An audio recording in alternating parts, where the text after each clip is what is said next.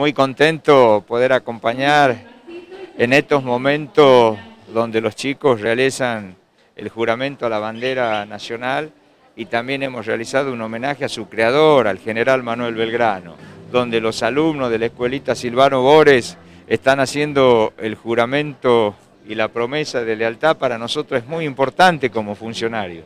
Yo quiero agradecerle al legislador Cortalesi, al concejal Alejandro, porque están siempre pendientes de lo que les pasa a cada una de las instituciones educativas en las jurisdicciones donde ellos realizan su trabajo. Estamos con el vicegobernador en una escuela más, colaborando también con una bandera de parte del vicegobernador. Una vez más este, sentimos el calor de, los chicos, vemos cómo las maestras han trabajado, han organizado, la directora para que esto salga como salió. Hemos visto un gran esfuerzo de todo el personal docente, el esfuerzo del papá y de la mamá, que en momentos difíciles, de dificultades económicas, hoy los chicos han venido impecables. Qué lindo que podamos seguir inculcándole a nuestros niños, a nuestros jóvenes, todo lo que tiene que ver con nuestra patria. Desde la escuelita Silvano Bores estamos muy contentos de haber acompañado a los docentes, al papá, a la mamá y fundamentalmente a los chicos